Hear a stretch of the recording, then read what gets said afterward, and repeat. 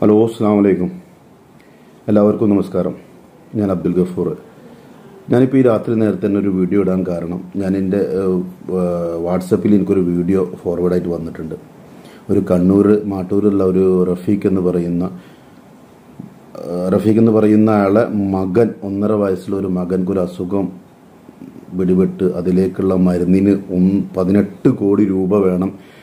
ഒരു ഡോസ് മരുന്നെന്ന് പറഞ്ഞിട്ട് ആ വീഡിയോ ഞാൻ ഇതിൽ അപ്ലോഡ് ചെയ്യുന്നുണ്ട്. അതൊന്ന് കണ്ടിട്ട് പിന്നെ അതിനുശേഷം എനിക്ക് പറയാനുള്ളത് ഒരു ഡോസിന് പതിനെട്ട് കോടി രൂപ വില വരുന്ന മരുന്ന്. ഒന്നര വയസ്സുകാരനായ മുഹമ്മദിന്റെ ജീവൻ രക്ഷിക്കാൻ ഡോക്ടർമാർ നിർദ്ദേശിച്ചതാണ് ഇത്. കണ്ണൂർ മാട്ടൂലിലെ റഫീഖിനും മറിയുമ്മയ്ക്കും മകന്റെ ജീവന്റെ വില കൂടിയാണ് ഈ പതിനെട്ട് കോടി രൂപ. എന്നാൽ ആ വലിയ സംഖ്യയ്ക്ക് മുന്നിൽ നിസ്സഹായരായി നിൽക്കുകയാണ് ഈ മാതാപിതാക്കൾ. കിട്ടിയിട്ടില്ലെങ്കിലും എന്റെ അനിയനക്കൊന്ന് കിട്ടിയാൽ നല്ലതാണ്. ആൾക്കാരെ സഹായിക്കാം. സഹായിക്കണം. ആ വീഡിയോ നിങ്ങൾ കണ്ടില്ലേ? ഇതിൽ ആ കുട്ടി പറയുന്നുണ്ട് എനിക്ക് ആ പെങ്ങൾകുട്ടിക്ക് ആ മരുന്ന് കൊടുക്കാൻ കഴിഞ്ഞിട്ടില്ല. അതിനും ആ അസു സെയിം അസുഖം തന്നെയായിരുന്നു. അതിനാ മരുന്ന് കിട്ടിയില്ല.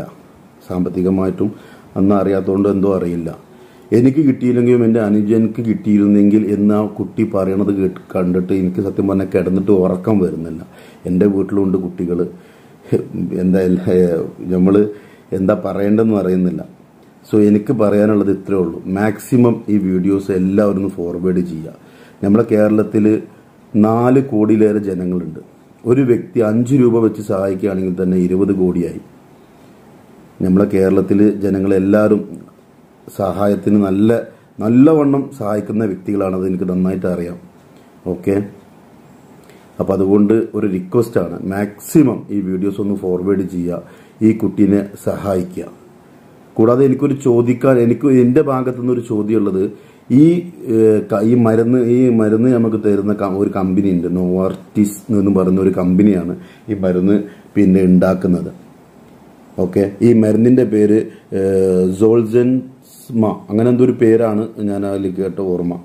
ആ മരുന്ന് ഈ കമ്പനിയുമായിട്ട് ഡയറക്റ്റ് നമ്മളെ കേരളോ കേന്ദ്രോ ഇടപെട്ട് മേടിച്ചിട്ട് ആ കുടുംബത്തിലേക്ക് എത്തിക്കുകയാണെങ്കിൽ അത് വളരെ ഒരു ഉപകാരമായിരിക്കും. കാരണം ഡയറക്റ്റ് ആകുമ്പോൾ ഒരു ഇടനിലക്കാരൻ ഇല്ലാതെ മരുന്ന് മേടിക്കുകയാണെങ്കിൽ തീർച്ചയായിട്ടും ഒരുപാട് വില കുറവിൽ അത് കിട്ടാൻ സാധിക്കും. ഇപ്പോൾ അമേരിക്കയിലാണെങ്കിലും ഇവിടെ നിന്ന് വേണ്ടപ്പെട്ട ആൾക്കാർ അവിടെ ഉണ്ടാവുമല്ലോ.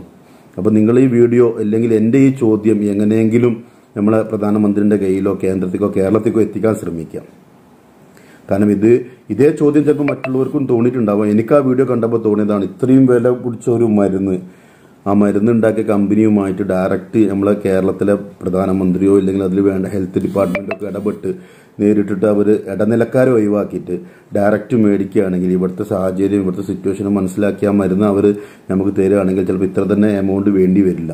എന്തായാലും എമൗണ്ട് അത് ഇൻഷാ അല്ല നമ്മളെല്ലാവരും കൂടി ഒറ്റക്കെട്ടായി ആ കുടുംബത്തിനെ നമ്മൾ സഹായിക്കണം. അത് നമ്മൾ സഹായിക്കും. പക്ഷേ ഇത്രയും എമൗണ്ട് കൊടുത്ത് ആ കുട്ടിക്ക് പിന്നെ ആ മരുന്ന് എത്തിക്കാനുള്ള ഒരു ഉത്തരവാദിത്വം കേരളത്തിൽ നിന്ന് ഏറ്റെടുക്കുകയാണെങ്കിൽ ഭരണപക്ഷത്തു നിന്ന് ഏറ്റെടുക്കുകയാണെങ്കിൽ അത് വളരെ ഒരു നല്ലൊരു കാര്യമായിട്ട് എനിക്ക് തോന്നുന്നു. അത് എന്റെ ഒരു മനസ്സിൽ തോന്നിയ ചോദ്യമാണ്. എന്തായാലും പിന്നെ ഈ വീഡിയോ മാക്സിമം നിങ്ങൾ ഫോർവേഡ് ചെയ്യുക. പിന്നെ മാക്സിമം കഴിവിന്റെ പരമാവധി എല്ലാവരും സഹായിക്കുക. ആ കുട്ടീനെ നമുക്ക് രക്ഷപ്പെടുത്തണം.